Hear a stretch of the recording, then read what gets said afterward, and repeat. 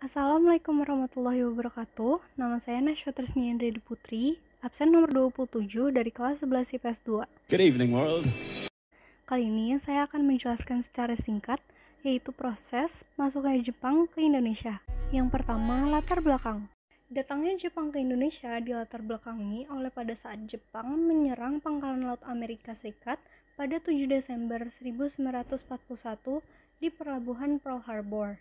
Penyerangan ini bertujuan untuk melumpuhkan kekuatan sekutu, yaitu Amerika Serikat, Inggris, dan Belanda, yang diperkirakan akan menjadi ganjalan bagi ekspansi Jepang di Asia. Serangan ini juga menjadi titik awal terjadinya perang di kawasan Asia Pasifik dan menjadi salah satu kebab khusus terjadinya Perang Dunia Kedua.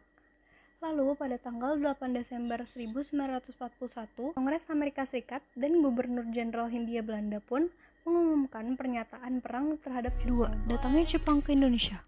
Setelah itu, pada tanggal 11 Januari 1942, tentara Jepang, yaitu Right Wing Unit dan pasukan Angkatan Laut Kure yang berjumlah 20.000 orang, mendarat di pantai timur wilayah Tarakan, Kalimantan Timur.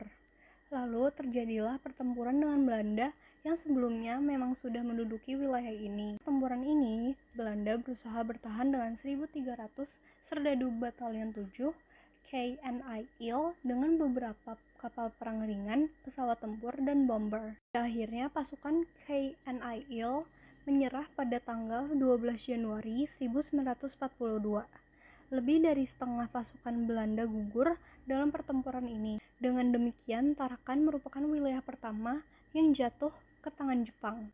Kedatangan Jepang di Indonesia ini awalnya disambut bahagia oleh masyarakat Indonesia karena masyarakat Indonesia berpikiran bahwa Jepang sudah membantu membebaskan mereka dari Belanda.